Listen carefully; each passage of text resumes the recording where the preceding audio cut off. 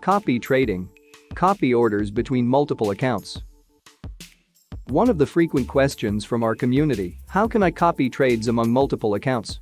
Such functionality can be very useful for the prop trading companies and multi-account managers who use Quantower as their trading tool. That is why we decided to perform this task and made a new panel called Copy Trading.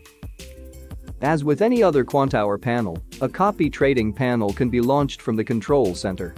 Once you activate it, you will find the copy trading bots management screen, divided into bots list and logs. Let's create a new copy trading bot. To do this, click on the plus button on the panel's toolbar and you will see the new copy trading bot screen appear. Here you should name your bot. Specify parent connection and account to set up where to copy trades from. Now we should add dependent connections by pressing the plus button next to the child connections label. Each new item line in the following table represents a child connection that will copy all trading activities from the parent. At the moment, a vendor of child connection should be the same as the parents, but we are planning to remove this limitation in the future. Now we should specify the dependent connection and account. To add another account for the same connection in Quantower, you should go to Connections Manager, duplicate the required connection, rename it optionally, and log in with another account credentials. You may repeat this action for as many accounts as you need. Later you will see all these accounts in Child Connections settings. The quantity copy mode option tells the bot how to calculate the quantity for copied order relative to the parent order. There are two options, percentage and multiplier. In a percentage mode, the bot will calculate the quantity relative to the parent account balance in percent and then apply this percentage to the child account balance to set the copy order quantity. In the multiplier mode, the bot will take a quantity from the parent order and multiply it with the multiplier coefficient, thus getting a quantity value for a child copy order. Once we set up all of the bot settings, click the Save button. Now we see that the new copy trading bot appeared in the bots list section. In this list, you can see bot name, parent connection, child connection, bot settings button, current state, bot launcher stop button, and bot deletion button.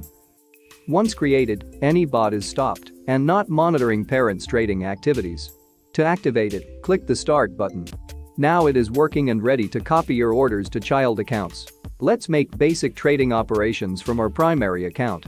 As you see, just after we sent an order, the bot copied it to a child account. Now we can modify our order and see that the child account order was modified also. If we cancel our order, then it will be cancelled for the dependent account also. As you see, stop loss and take profit orders for our position are also successfully mirroring to the dependent account.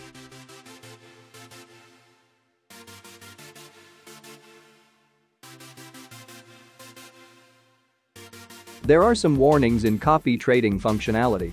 First, copy trading can work only if the Quantower terminal is launched. Second, if the dependent connections, parent and child, are not active, the bot will copy orders for active connections only and ignore disconnected. Last, if parent order parameters are different than a child account can submit, you will get a notification about this and the possibility to manually copy the order by clicking the Open OE button next to this message in the logs section. The most common cause of such behavior is when the child account has insufficient funds to copy the parent's order quantity. That's all for now.